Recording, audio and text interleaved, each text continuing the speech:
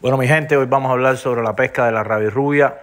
Eh, muchos de ustedes me han preguntado cómo es que yo la pesco, dónde la pesco, con qué carnada la pesco.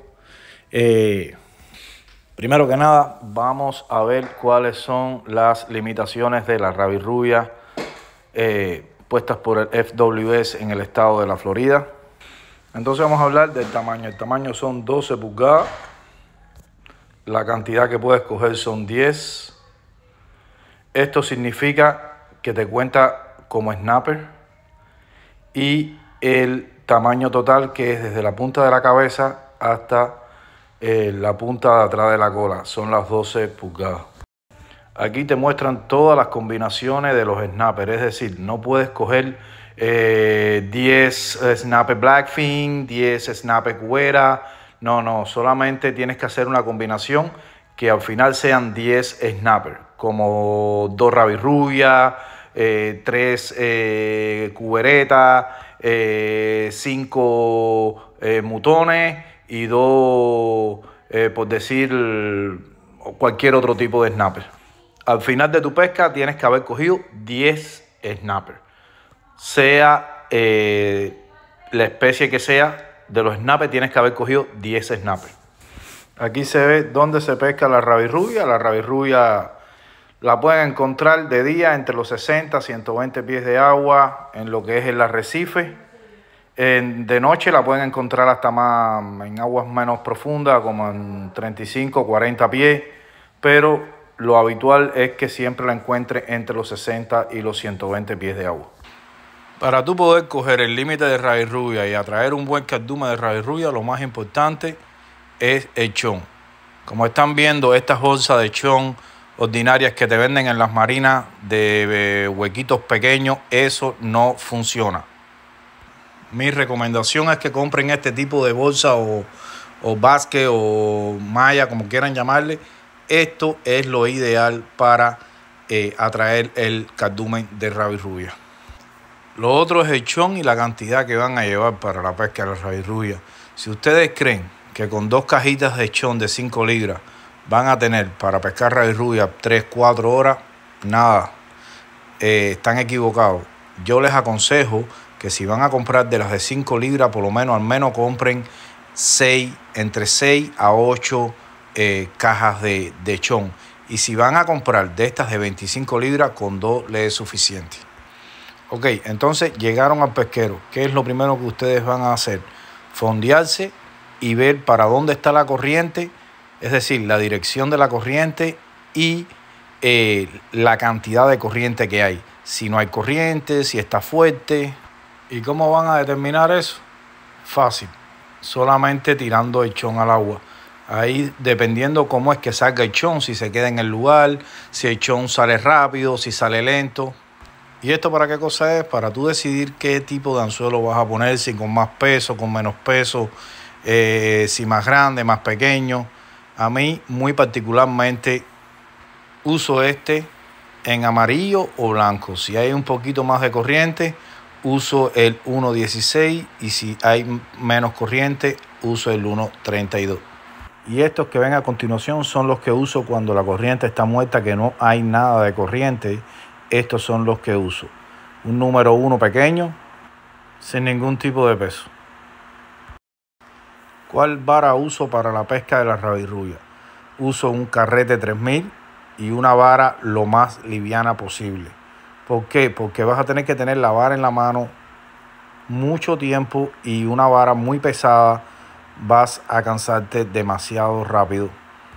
So, cualquier varita con un carretico 3000 y una varita livianita te sirve para la pesca de la rabirrubia. Que sea de cualquier marca, la marca no interfiere, solamente que sea una vara lo más liviana posible. Ahora vamos a hablar de nylon y cuántas libras de nylon tú necesitas para la pesca de la radio A mí particularmente me gusta el braid. ¿Por qué? Porque es eh, más fino que el nylon eh, y la corriente no lo trabaja tanto. ¿De cuántas libras braid? Solamente de 20 libras. Tú no necesitas más de 20 libras. Ahora vamos a hablar del fluorocarbo. Tú siempre vas a tener que poner un líder la parte delante del braid. ¿Por qué? Porque es más invisible y tiene mucho más fortaleza a lo que es a la hora de tu trabajar el pescado. ¿Qué medida? Si tienes un braid de 20 libras, puedes usar hasta un líder de 15, 5 libras menos o a mí particularmente me gusta usar uno de 20 libras al igual que el braid. Bueno, ahora vamos a hablar de qué carnada yo uso particularmente para la pesca de la rabia rubia. A mí me gusta mucho lo que es el calamar. Este es el Silverside, es especial para lo que es la pesca de la rabia rubia. Uso mucho también lo que es la sardina viva pequeña, no la grande, pero una de las mejores carnadas para la rabia rubia son los estollos de bonita. Esas bonitas que uno coge que a veces uno no le gusta comerse, esas son las mejores carnadas para mí, para lo que es la rabia rubia. Y lo mismo el calamar que la bonita, que cualquier otro pescado que vayan a usar para pescar rabia rubia, tienen que picárselo en filetillos bien finitos. Aquí les voy a dejar este corto video para que más o menos tengan una idea. Tremenda rabia rubia, dale. Dale, rubia, dale. La rabia rubia. Rabia rubia. Cosa más linda.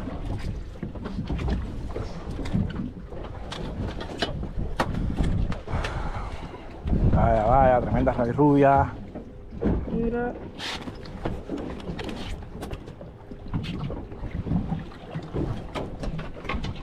Aquí a ver qué yo tengo aquí.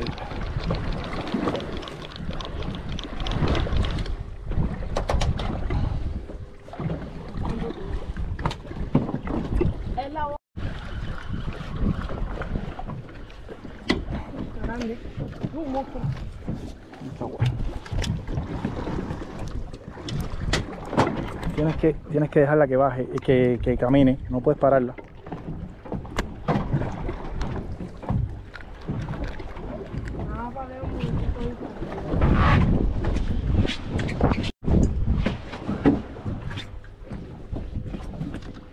Un dato muy importante antes que se me olvide es recalcarles que tienen que comprar mucha avena. La avena atrae mucho lo que es la rabia rubia y es una de las de los puntos muy importantes para que la rabia rubia se levante desde el fondo.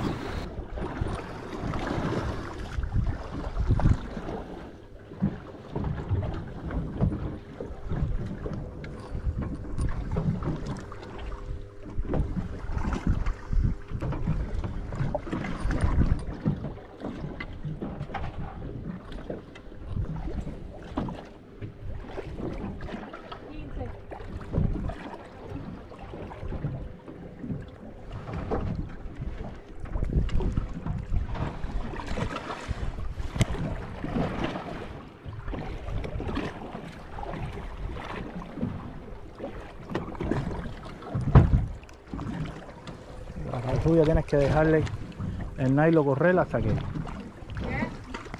Miren cómo está saliendo ese chón.